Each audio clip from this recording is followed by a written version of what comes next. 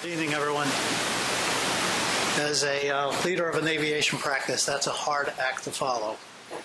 Um, and the contribution, the adverse contribution of the aviation industry on carbon emissions is absolutely undeniable. But as terminal designers, we don't control, we don't have any influence or impact on the technology that's the greatest contributor, which is the aircraft. We certainly have some control over the terminals and the airport facilities. We're going to feature going to feature three projects that we have worked on or are working on and explain a little bit about the approach that we're taking. Uh, we, if we were having this conversation five, ten years ago, we would be talking about and pounding our chest about LEED certification, and that's that's long gone.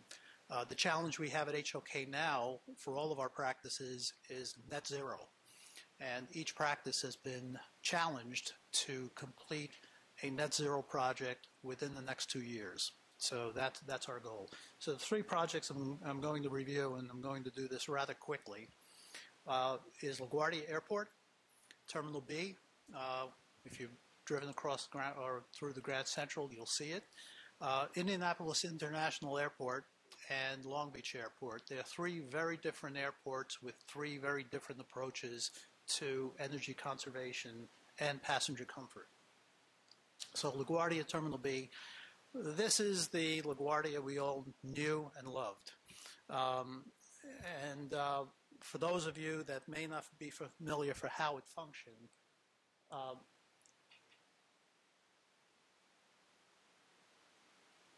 oh, okay. This is this was the front. This was the face of the airport, a four-story, five-story parking garage. Uh, the actual terminal is situated back here. This is Terminal B. And there are conventional concourses or piers coming out towards the airside. So you'll notice that all of the operational terminal facilities are as far from the Grand Central as you could possibly get, and it's all parking in the front. So that's where we were. This is where we're going. This is the project that's under construction right now. And uh, I'm going to give a brief summary of why we want it and why it's so innovative and wonderful.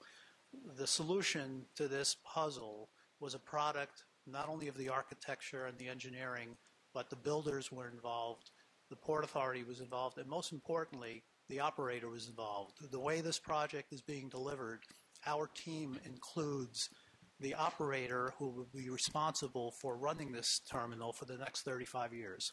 So they brought to the project an inherent interest not only on how much it costs to build, not only on the quality of the experience that it's providing, but how how expensive it is going to be to maintain over 35 years. How much energy does it use? So it was a really interesting um, experience having that as part of the genesis of the idea.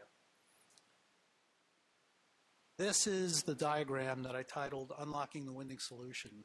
And the problem with this project was not only how to create a new airport, but how do you build a new terminal on the footprint of the existing terminal and keep every gate and the terminal operation the entire time. And it's that challenge that led to the innovative solution. So, very simply, the, the head house or the main processor where you check in and you claim your baggage that was built, is being built on the footprint of the old garage. Then we are, this concourse is well under construction. This will be in operation before the end of the year. So this is concourse A and concourse B. Concourse B is, uh, well, this is where the gates are situated. And the concourses and the terminal are connected by elevated pedestrian bridges that literally span over the top of Terminal B. So this roadway remains in operation. This terminal remains operation while this is being built. This garage is already completed and in operation, and this is nearing completion. So we can keep this in operation almost up until the last moment. So, and the other important thing to note here is these piers are a very antiquated way of dealing with aircraft at an airport it's very difficult to maneuver. So if you have to move an aircraft from this concourse to that concourse, which they may need to do for operational reasons, that aircraft has to go out onto the taxiway. And that's what creates some of the ground congestion at, at the airport. There's nothing we can do about the airspace, that's limited. So in our scheme, in our concept, this is the new terminal.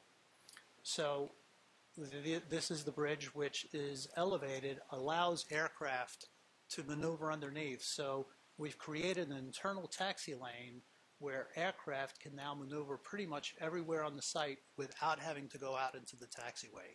So we've, we've taken a huge step in reducing the long lines of aircraft fully revved up, contributing to carbon emissions out on the taxiway. This is the, the best solution for getting an aircraft from the gate onto the runway and in the air as quickly as possible. This is a view of those bridges, and you can see that they're designed to allow the aircraft to go underneath and have the added benefit of providing a really wonderful experience. And in the case of the Far Bridge, a panoramic view of the city skyline. And the award of that project to this team led the Port Authority to enlist HOK to develop an architectural master plan for the entirety of the airport. So the project that we're responsible for is this piece here. This, the rest of the airport is shortly going to begin construction. Delta Airlines is developing the east end of the terminal, but we were asked to establish design criteria so that when it's all done, it looks as if a single hand designed it. Functionally, it's very different internally, but it will look like one unified airport complex. And in another measure that I think we need a, a whole lot more of, plan right now, what's being studied seriously, is an air train connecting the two terminals to mass transit. Not, not very much unlike the JFK air train. So what you're seeing here in the foreground is the station that would serve the Delta terminal, and then the distance is the station that would serve Terminal B, and we've even made some allowances for potential future hotel. So taking an airport and making more of it than just an airport is also an important environmental factor. So this is where construction was now as of four weeks ago. This is the new departures hall. That's the concourse that will open up shortly. Indianapolis Airport uh, is just outside of Indianapolis, and it it was designed to do two things: to elevate the stature and the perception of the city of Indianapolis, but also to be as efficient as we possibly could. So um, the skylights were determined through very intensive daylight analysis. The, this roof, the saddle-shaped roof, is is lined with gutters that are larger than you can imagine. One uh, person can stand in there and not be able to look outside. That collects the rainwater. The rainwater is delivered to cisterns that provide all of the irrigation for the landscape around the around the terminal, and simple materials. Um, not a lot in the ceiling, and it's it's uh, all of the air conditioning, the lighting, the PA is provided by the by the roof of the check-in islands. But we did something here that that I believe is the first time it's been done in the United States. We often use radiant uh, radiant heating in houses and commercial facilities. This space it has a radiant cooled floor. So even though the ceilings are high, only the 12 feet above floor is conditioned. We didn't care whether it's whether it's too hot or too cold up in the ceiling, as long as the place where people reside um, is properly conditioned. And the other interesting thing is their interest in art and the forecourt between the garage and the garage and the terminal became a metaphor for what you see from a plane looking down on the landscape of Indianapolis.